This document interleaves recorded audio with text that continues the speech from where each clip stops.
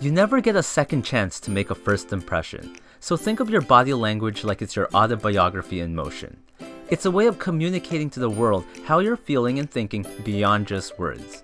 And by getting good at reading other people's body language, as well as understanding and controlling your own, you'll be able to improve your interactions with everyone.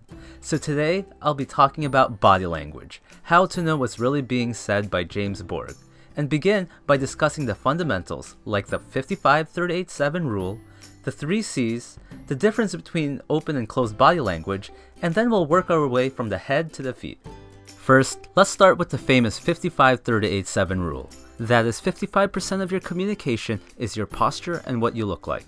38% is how you say stuff, like your pitch, your tone, how quickly you speak, and how long you pause between sentences. And the last 7% is the actual words you say. Now, some people misinterpret this rule by thinking that words are not important as long as you look confident, project the right impression, dress to kill, and then deliver your words with the right seductive pitch and tone. Instead, think of it this way if your 55% of visual body language is bad, they won't even stick around to listen to the 38%. And similarly, if your 38% of how you sound is bad, then they won't even stick around to listen to your 7% of words. So words are still very important. How many times have you thought at a party, at work, or on a date that things were going good until they opened their mouth? The next thing to keep in mind are the three C's context, congruence, and cluster. A person with their arms crossed does not always mean they're angry or being defensive. The person could just simply be cold. So you always have to look at the context.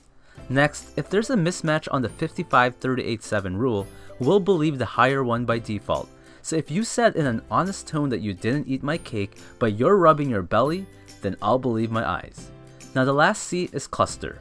It's usually unwise to judge a single gesture for meaning, so we should always look for clusters of gestures to interpret body language. With so many muscles in the human body, it's not easy to fake body language. No matter how good you think you are at controlling your anatomy, there will always be a leakage that give away your true feelings. We all pick up the subtle clues that others are sending out even though we may not be conscious of it. And of course, other people are doing the same with us. With that said, increasing your awareness is the first step to becoming a body language expert. So start paying attention to other people's actions and words as well as your own. Look at people's postures, gestures, and facial expressions from a distance and then try to deduce whether they're having an argument, a friendly conversation, flirting, or whatever. Just don't underestimate the power of awareness. Next, it's important to learn the difference between open and closed body language. Open body language can be hands being in view, possibly with exposed palms, suggesting you're vulnerable to others but you're comfortable about it. It can also include good eye contact with your legs and posture being free. Closed body language is what we tend to do during fight or flight situations, where we make the body appear smaller and to look for barriers to shield ourselves from the threat. This can be bringing the limbs closer to our body or crossing our arms or legs. This can also be little eye contact or even closing our eyes when somebody is talking. Open body language usually means comfortable, and closed body language usually means discomfort. As an exercise, put yourself in a closed position and notice how it will change your mood. Then observe other people and note how you perceive them. Then do this again in an open position. Remember that your body affects your mind just as much as your mind affects your body. Leonardo da Vinci says the eyes are the mirror to the soul. Now, it may surprise you that most communication is conveyed through the eyes more than any other part of the body. One of the simplest ways to ignore someone is to look away. I'm sure we've all done this when walking by a salesperson. Failing to make eye contact sends the signal that you're untrustworthy, uninterested, or not confident. The eyes are so powerful that a gaze just held a few seconds longer than usual can be extremely powerful. But it's important to look away from time to time to release the tension. Otherwise, people can subconsciously put you in the I don't trust this person category if you stare too long. Now, with business and strangers, focus your gaze high and between their eyes or around their forehead. With friends, focus between their eyes and mouth. On an intimate level, and when flirting, focus between the chin, long enough to show interest, then gaze back to their eyes. Be careful with this one, but if a person's eyes move up, they might be accessing an image or visualizing something. If they're looking down, they might be accessing a feeling. and left or right, they might be trying to access some sort of sound. Next, an average blink is 8 to 15 times a minute. If someone is blinking rapidly or they flutter their eyelids, that could mean the person is anxious, sad, embarrassed, or even trying to hide something. Also, if you watch political interviews or just any two people interact, you might notice the person who feels more superior tends to blink less. Lastly, the eyes are also important in determining if a smile is real.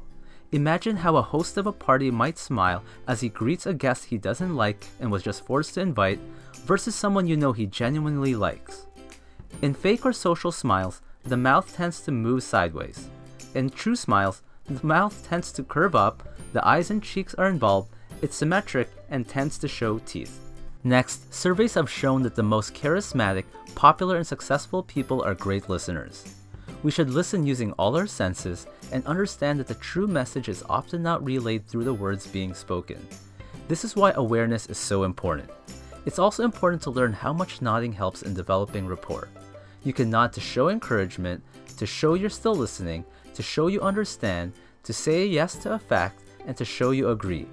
Lack of nodding can make the speaker think you're not paying attention or you're not interested. Studies have even shown that nodding allows you to draw as much as four times more information. Next, it's a good technique to imitate someone's body language to build rapport, but don't completely copy. Then you can lead them to a more open posture.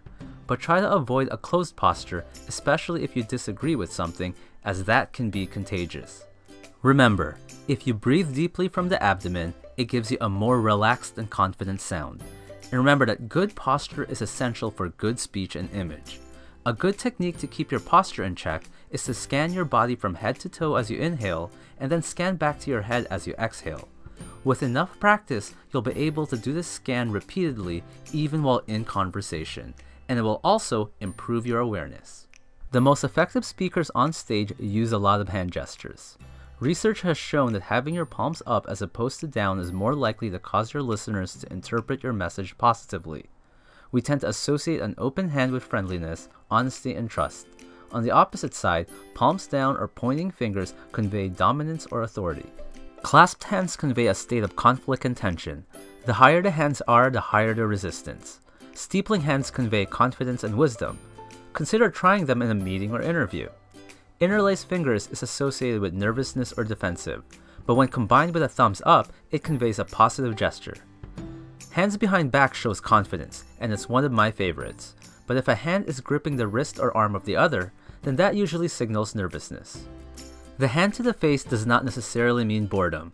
Sometimes it's a switch to intensify concentration. If the hand is folded into a fist, then the person may have heard something disturbing. But remember cluster and focus on the eyes as well to confirm. Next, the hand covering mouth usually conveys disagreement.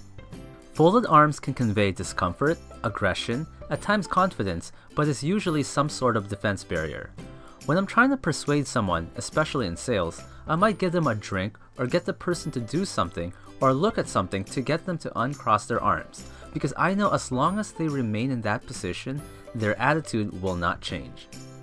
Partial arms crossed are very common with women and often means discomfort or nervousness. Similarly, women are more likely to do the hand to the neck gesture, which is a way to comfort themselves. Men are more likely to put their hand under their chin. We are conditioned to turn towards things and people we like, so if a girl is flirting with two guys, check which direction her lower body is facing to see who she's more interested in. And if you're in a conversation and the person turns their lower body, it could mean that they need or want to go. Don't underestimate the lower body, especially for detecting lies. Kids early on learn how to lie with their facial expressions, but as you move down the body towards the feet, people are less and less trained. Next, the one day you can be as good as me pose can show arrogance and can irritate many people, even if it's not directed at them. Lastly, proximity is very important. You can often tell how close two people are based on how close they are interacting. We all have our own personal bubble. You can be rejected if you enter someone's bubble too quickly. Now for three things to be cautious about. Number one, habits can play a factor. It's important to first establish a baseline before trying to really interpret someone's body language. And if you haven't met a person before, you won't know their baseline, and vice versa. Number two, culture can play a factor. Thumbs up can mean the number 1 in Germany, number 5 in Japan, and up yours if thrusted upwards like you're hitchhiking when done in Australia. Number 3, it's important to know the science of body language is not an exact science.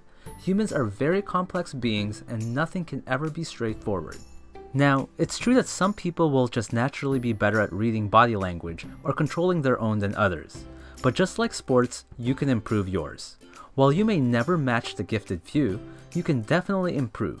So, with enough practice, you might just become a human lie detector, develop an amazing poker face, ace that interview, and even improve your love life. Thanks for watching. If you like this video, then choose one of the following. You can either A, subscribe and like, B, listen to the share bear over there and show that you care, C, add me on Snapchat to stay in touch, or D, tell me to blow myself up.